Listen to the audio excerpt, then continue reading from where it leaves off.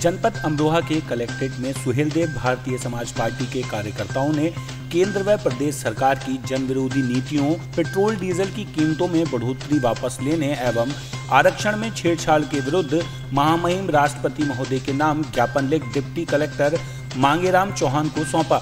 जानकारी देते हुए सुहेलदेव भारतीय समाज पार्टी के अध्यक्ष सतपाल तोमर ने बताया कि प्रदेश की बिगड़ती कानून व्यवस्था, महँगाई एवं आरक्षण लूट बलात्कार की घटनाएँ प्रतिदिन हो रही हैं, जिससे सरकार अंकुश लगाने में नाकाम हो रही है। इसलिए हमारी पार्टी द्वारा इन सभी समस्याओं को लेकर कलेक्ट्रेट में ज्ञापन सौंपा गया। क्रांतीय आह्वान पर सुहेलदेव भारतीय समाज पार्टी की तरफ़ से सरकार की जनविरोधी नीतियों के खिलाफ ज्ञापन दिया गया है, जिसमें लूट, हत्याएँ, बलात्कार की दिन प्रतिदिन घटनाएँ हो रही हैं, उस पर सरकार अंकुश लगाने में नाकाम हो रही है।